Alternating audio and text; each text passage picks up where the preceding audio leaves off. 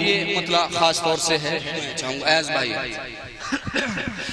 हज़ारों दर्द सह कर इस लिए हम मुस्कुराते हैं। हज़ारों दर्द सह कर इस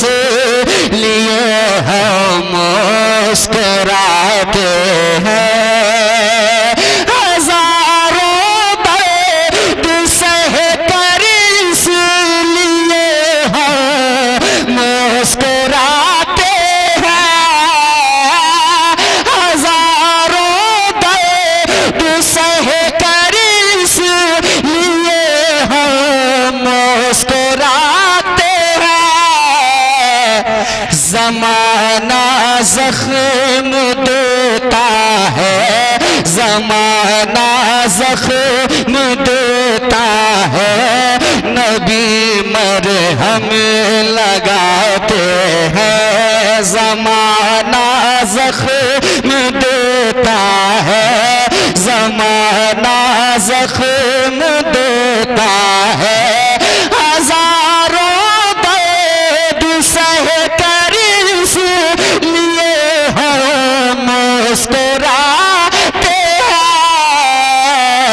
जमाना जख्म देता है।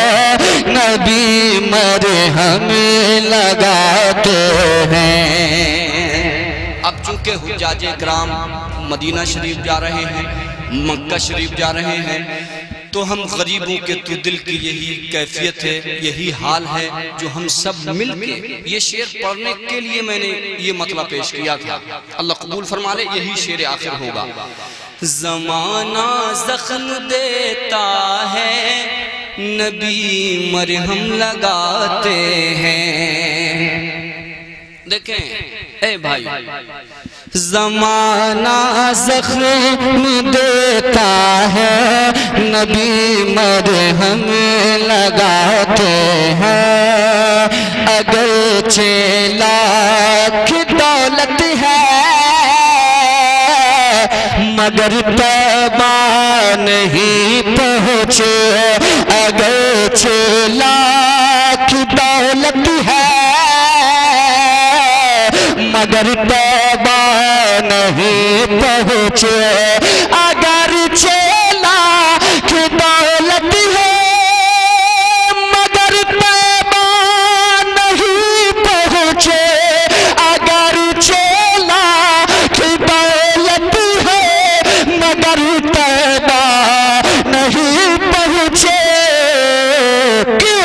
अरे वही तबा हो जाते हैं जिन्हें आखा बुलाते हैं।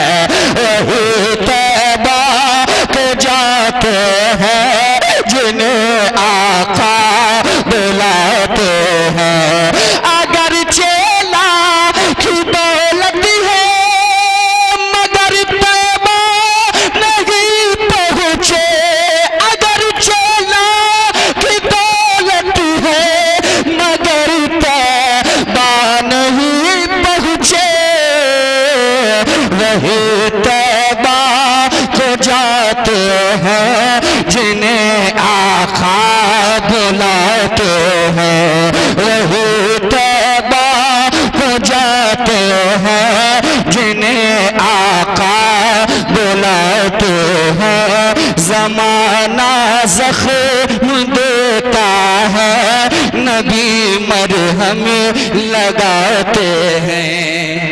और इस महफिल में कितने लोग हैं जो मदीना शरीफ होकर के आए हैं? हैं ऐसे लोग? मदीना शरीफ महफिल में कौन कौन है? कोई है ऐसा जो हज करके आया हो? हाजी जी नहीं है। माशाल्लाह। तो अगर आप इजाज़त दें तो हाजी जी इसी कलाम का एक शेर और पढ़ दे। अगर आप हज करके आए हैं और अल्हम्दुलिल्लाह हज़रत मौलाना खुशबख्त साहब भी हज करके आए हैं, माशाल्लाह। उम्र करके आए हैं, हज करके आए हैं, माशाल्लाह। तो ऐसा शेर है, बस, इसी को शेर आखिर इसके बाद कोई आखिर नहीं होगा, इंशाल्लाह। मगर आपके हवाले से, हाजी जी, जमाना जख्म देता है, नबी मरहम लगाते हैं। इनसे पूछेगा, जुदाई किसको कहते हैं? तड़पना कैसा होता है, जुदाई किसको कहते हैं? तड़पना कैसा होता है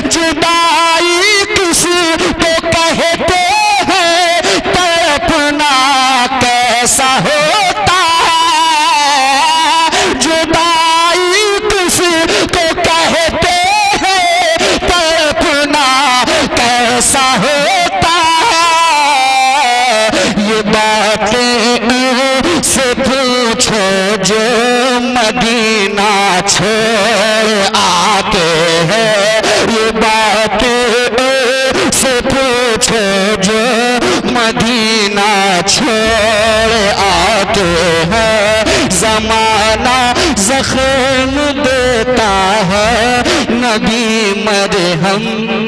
लगा सलाम।